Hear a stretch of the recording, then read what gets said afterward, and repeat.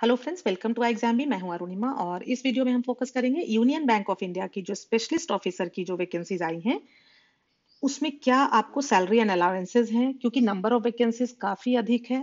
Form fill up करने का date अभी भी है। सो so, अगर आप देखें तो थर्ड सितंबर तक आप इस एग्ज़ाम का फॉर्म फिलअप कर सकते हैं। और जो वैकेंसीज हैं वो काफ़ी ज़्यादा हैं। सो so, अगर असिस्टेंट मैनेजर की बात करें स्केल वन ऑफिसर की तो 120 वैकेंसी है। और यहाँ पे चांसेस ज़्यादा हो जाते हैं आपके सिलेक्शन के क्योंकि असिस्टेंट मैनेजर फॉरेक्स के लिए जो वैकेंसीज हैं उसमें सिर्फ़ ग्रेजुएशन नहीं चाहिए। ग्रेजुएशन प्लस एमबीए भी चाहिए। और एक्सपीरियंस रिक्वायर्ड नहीं है। सो so, अगर आपके पास ग्रेजुएशन है और एमबीए है इसका डिटेल नोटिफिकेशन का वीडियो का लिंक मैं डिस्क्रिप्शन बॉक्स में आपको मिल जाएगा। सो so, वहाँ से देख सकते हैं। तो ज़रूर ज़रूर आपको ये फॉर्म फिलअप करना चाहिए क्योंकि यहाँ पे कंपटीशन उतना ज़्यादा नहीं होगा क्योंकि ये सिर्फ़ ग्रेजुएट्स के लिए ओपन नहीं है। साथ ही साथ मैनेजर के लिए भी 50 वैकेंसीज हैं और यहाँ पे आपको ग्रेजुएशन एमबीए के साथ ही साथ तीन साल का एक्सपीरियंस भी चाहिए। सो so, अगर आप मैनेजर के लिए एलिजिबल हैं स्केल टू के लिए एलिजिबल हैं तो मैं कहूँगी आप स्केल टू का फॉर्म फिलअप करें। लेकिन अगर आप स्केल टू के लिए एलिजिबल नहीं है मतलब आपके पास एक्सपीरियंस नहीं है तो ज़रूर आप स्केल वन के लिए अप्लाई करें। यहाँ पे भी 120 नंबर ऑफ़ वैकेंसीज है, जो कि बहुत अच्छी नंबर है, ऑफ़ वैकेंसीज है। इस वीडियो में हम फोकस करेंगे कि सैलरी एंड अलाउंसेस क्या है, क्यों आपको इसकी तैयारी करनी चाहिए और फिर किस तरह से करनी चाहिए।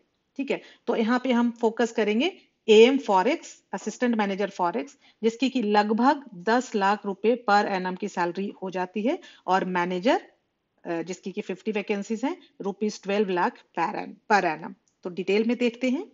सो so, सबसे पहले देखते हैं कि क्या पे स्केल है। तो ग्रेड ए असिस्टेंट मैनेजर का आप नोटिफिकेशन में देखोगे कि ये आपका पे स्केल है। 36,000 से शुरू है बेसिक सैलरी ये बेसिक सैलरी है। इसको आप ग्रॉस ना माने। सो so, ये बेसिक सैलरी है, जिसके ऊपर आपको डियरनेस अलावेंस स्पेशल अलावेंस कुछ अलावेंसेज मिलते हैं और उसको मिला करके आपकी ग्रॉस सैलरी बनती है। इसका क्या मतलब हुआ? आप देखो one four nine zero one thousand four hundred ninety मतलब जो ईयरली इंक्रीमेंट होगा, जब आप ज्वाइन करेंगे, आपकी बेसिक सैलरी होगी थर्टी सिक्स थाउज़ेंड फिर एक साल बाद उसमें one thousand four hundred ninety add हो जाएगा। इस तरह से सेवन ईयर्स तक ये ऐड होते रहेंगे और फिर ये आपकी बेसिक सैलरी हो जाएगी फोर्टी सिक्स थाउज़ेंड फोर आपका जो ईयरली इंक्रीमेंट है वो 1740 हो जाएगा। दो ऐसे इंक्रीमेंट मिलेंगे ये आपका बेसिक बन जाएगा। सो इसी तरह से ये चलता रहेगा। अनटिल के ये 63,840 आपका बेसिक ना हो जाए। जब आप ज्वाइन करेंगे इस एग्ज़ाम की अगर आप तैयारी करते हैं और थोड़ी सी भी अगर आप अच्छे से मेहनत करते हैं तो आप क्लियर कर सकते हैं इस एग्ज़ाम को। तो आपकी जो सैलरी होगी वो होगी बेसिक सैलरी थर्टी सिक्स के, जैसा कि यहाँ देख रहे हैं आप। डियरनेस अलाउंस लगभग लगभग दस ग्यारह हज़ार, और स्पेशल अलाउंस सेवन के, लगभग लगभग सात आठ सौ के करीब location allowance and learning allowance सात सात आठ सौ। सो ये पूरा मिला के हो गया फिफ्टी फाइव के। ये जो फिफ्टी फाइव के होगा, ये बनेगी आपकी ग्रॉस सैलरी सैलरी स्लिप पे।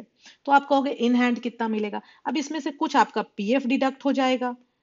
कुछ आप जो एडवांसेस लेंगे, वो डिडक्ट होगा। तो एक्चुअली आपने जो एडवांसेस लिए हैं लोन लिए हैं, उसका डिडक्शन हो रहा है। तो वो तो आपका ही मनी हुआ। उसको हम नहीं कह सकते कि हमारा डिडक्ट हुआ।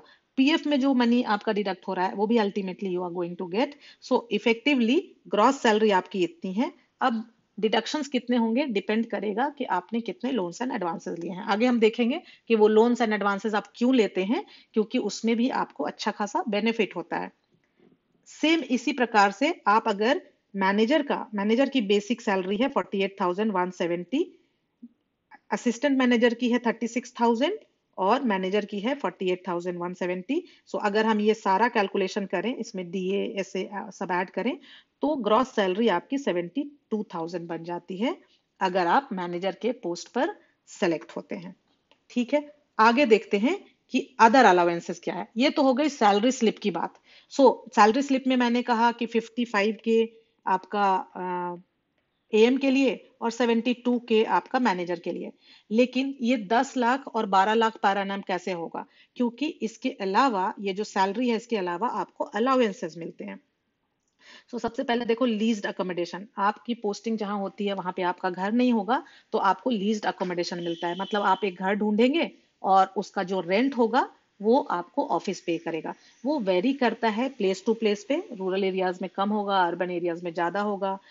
अगर मैं देहरादून जैसे सिटी की बात करूँ तो लगभग लगभग लगभग पंद्रह हज़ार के करीब आपको यहाँ पे ये रेंट मिलता है। उसके अलावा कन्वेंस अलाउंस यहाँ पे आपको 35 to 40 litre petrol per month ठीक है? तो अगर मान लो हंड्रेड रुपीज़ पर लीटर है पेट्रोल जो भी रेट रहेगा पेट्रोल को का उसके हिसाब से आपको मिलेगा और 40 लीटर तो 4000 आपको पर मंथ ये यहाँ पे मिलता है। ये असिस्टेंट मैनेजर का है। मैनेजर के लिए ये थोड़ा थोड़ा चेंज हो जाएगा थोड़ा थोड़ा और ज़्यादा हो जाएगा। सो so, आपका ये 15 के हो गया कन्वेंस अलाउंस आपका 4 के हो गया। इसके अलावा न्यूज़पेपर अलाउंस लगभग 500 मोबाइल बिल रीइंबर्समेंट लगभग चार पाँच सौ रुपए क्लीनिंग अलाउंस भी लगभग इसी तरह से। सो so, इस तरह के आपके मंथली अलाउंसेस मिलते हैं। ठीक है? इसके अलावा कुछ आपके ईयरली अलाउंसेस भी मिलते हैं। उनको भी देख लेते हैं। ईयरली अलाउंसेस में लीव फेयर कॉन्सेशन एल इसको बोलते हैं तो एवरी ऑल्टरनेट ईयर आप आप और आपकी फैमिली आपके फैमिली मेंबर्स जो आप पे डिपेंडेंट हैं, वो कहीं भी घूमने जा सकते हैं और उसका सारा खर्च जो है आप रिम्बर्समेंट ले सकते हैं ऑफ़िस से एलएफसी के तहत। ये एक हो गया। मेडिकल अलाउंस मैं ये कहूँगी मेडिकल बेनिफिट्स जो है एक बैंकर के लिए, वो बहुत ही बहुत ही अच्छा होता है। एक तो हो गया मेडिकल अलाउंस जो आपको ईयरली मिलेगा टेन के के अराउंड बट इसके अलावा भगवान ना करे, आप या आपके किसी फैमिली मेंबर को कभी ऐसी ज़रूरत पड़ती है कोई तबीयत खराब होती है, आपको जो इलाज में खर्चे होते हैं या हॉस्पिटलाइज होना पड़ता है हॉस्पिटल के जो खर्चे होते हैं, वो सारा का सारा खर्चा ऑफ़िस बेयर करता है। इसमें ज़्यादातर तो बैंक्स के टाई अप्स होते हैं हॉस्पिटल से। और अब आप उन्हीं हॉस्पिटल्स में जाकर के अपना इलाज कराएँगे और सारा खर्चा ऑफ़िस बेयर करता है। ठीक है? इसके अलावा आपका इंटरटेनमेंट अलाउंस हो गया, ये भी आपको ईयरली मिलता है। Mobile allowance briefcase allowance कुछ ऐसे होते हैं, जैसे ब्रीफ केस अलाउंस और मोबाइल अलाउंस ये सब दो तीन साल पे मिलते हैं। एग्जैक्टली exactly मुझे याद नहीं है, लेकिन इस तरह के होते हैं। इसके अलावा स्पेक्टेकल्स अलाउंस ऐसे छोटे छोटे कई सारे अलाउंसेस होते हैं, जिसको आप अगर मिला दें, यहाँ पे मैं इस चीज़ को माइनस कर रहे हूँ कर रही हूँ कि आपको आपके हॉस्पिटलाइजेशन में कुछ ज़्यादा खर्चा हुआ। तब आपके ये टेन लाख असिस्टेंट मैनेजर के लिए पर एनम और ट्वेल्व लाख मैनेजर के लिए होता है। लेकिन हॉस्पिटलाइजेशन का खर्चा कभी कभी ज़्यादा भी हो सकता है। सो so, ये रेगुलर बेसिस पे आपको ये अलाउेंसेस मिलते हैं जो कि मैं कहूँगी बहुत बड़ी बात है। सो so, इस एग्ज़ाम के लिए आप जो भी तैयारी करते हैं वो वर्थ है क्योंकि ये सारे बेनिफिट्स आपको और आपके परिवार को इस नौकरी को ज्वाइन करने के बाद मिलते हैं। अगर हम अदर बेनिफिट्स की बात करें, क्योंकि अदर जहाँ भी हम मनी सेव कर पा रहे हैं एक्चुअली वो that is equal to money earn है कि नहीं? अगर हम कहीं पे पैसा बचा पा रहे हैं, अगर मान लो आज एक व्यक्ति जो बैंकर नहीं है, वो बैंक से लोन लेता है और उसको लगता है नाइन परसेंट इंटरेस्ट और आप एक बैंकर हो, आपको लगता है सेवन परसेंट तो वो जो दो परसेंट का बेनिफिट हुआ, वो भी तो इक्वल टू मनी अर्न ही हुआ। आप इस तरह से इसको समझ सकते हैं। सो ओवर ड्राफ्ट फैसिलिटी लगभग दस लाख की आपको ओवर ड्राफ्ट फैसिलिटी मिलती है। मान लो अचानक से आपको दस लाख रुपए की ज़रूरत है तो बैंक आपको ओवरड्राफ्ट फैसिलिटी दे देता है। मतलब बैंक आपको वो पैसा मुहैया करता है और जो रेट ऑफ़ इंटरेस्ट है, वो बाहर के लोगों को जितना लगता है, उससे दो परसेंट आपको कम लगेगा।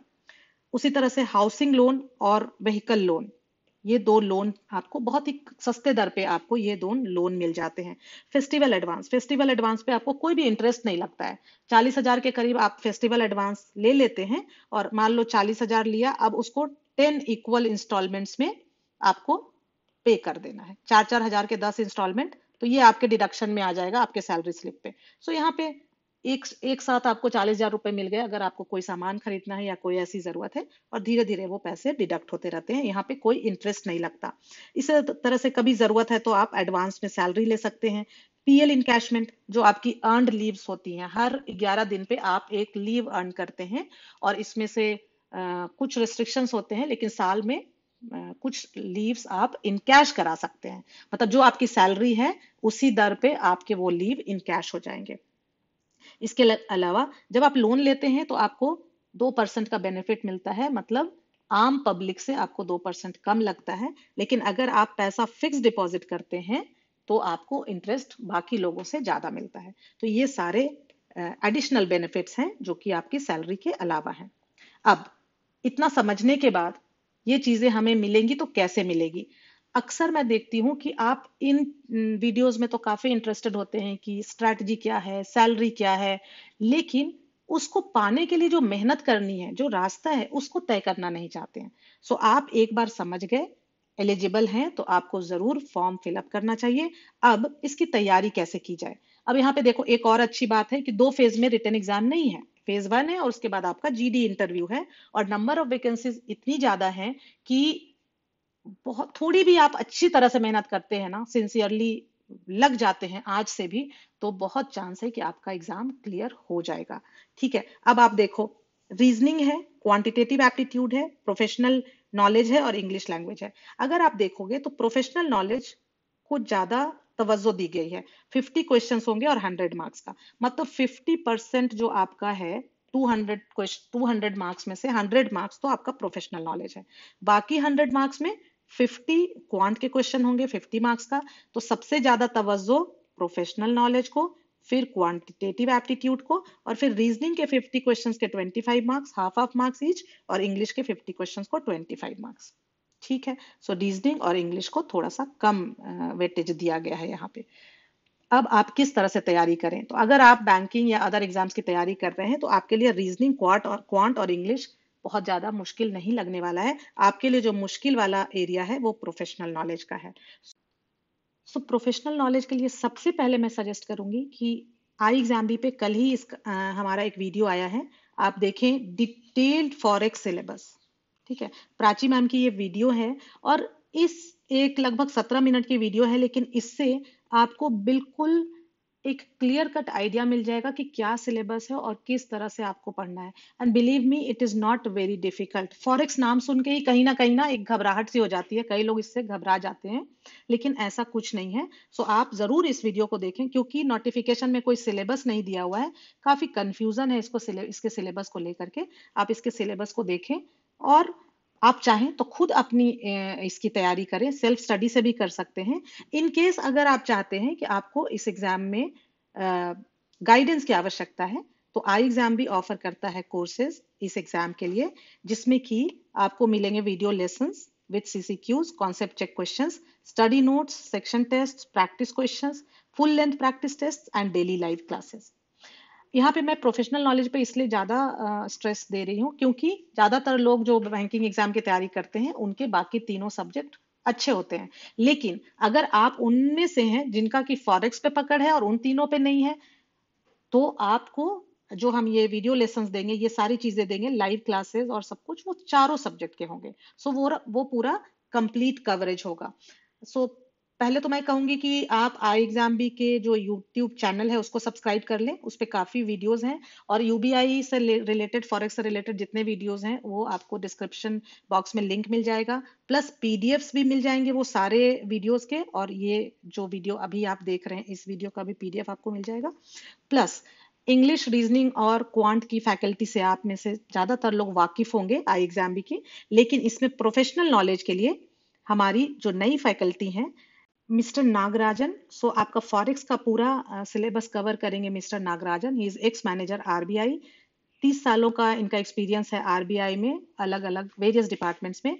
साथ ही साथ पाँच फाइव प्लस इयर्स का इनका टीचिंग एक्सपीरियंस भी है जिसमें कि banking trade finance and forex पे इनकी काफ़ी अच्छी पकड़ है। सो so, अगर आप गाइडेंस चाहते हैं और प्रोफेशनल नॉलेज में आपको लगता है कि आपको घबराहट हो रही है तो आप ज़रूर आई एग्ज़ाम भी कोर्सेज के लिए इनरोल करें। और यहाँ पे एक बहुत ही अच्छा ऑफ़र है एक्चुअली आपके लिए। आई एग्ज़ाम के सारे ऑनलाइन कोर्सेज पे अभी 50 परसेंट ऑफ़ है, जो किसी भी मोमेंट खत्म हो सकता है। इसका कोई टाइम पीरियड नहीं है, हो सकता है आज शाम ही ये क्लोज कर दिया जाए या कल कर दिया जाए। सो लिमिटेड पीरियड ऑफ़र है। आप कोड यूज़ कर सकते हैं B fifty B double E five zero और आप एनरोल कर सकते हैं। आई एग्ज़ाम बी के, किसी भी कोर्स में अगर आपने अभी तक नहीं डिसाइड किया, आप एलिजिबल हैं और डिसाइड नहीं किया है तो I will strongly suggest, strongly recommend that Union Bank of India ने आपको एक बहुत अच्छी अपॉर्चुनिटी दी है और आपको इसका फ़ायदा उठाना चाहिए। So thank you friends thanks for watching